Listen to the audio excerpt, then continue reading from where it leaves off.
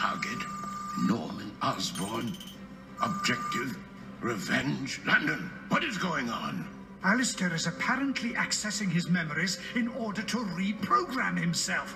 Fascinating. That is not the word I would use. Current location of Norman Osborn. Oscorp Towers. Probability 95.37%. This is a disaster. Osborn and I have resolved our differences, and his resources are important to me. Reprogram Smythe immediately. I can't. He's just terminated our connection.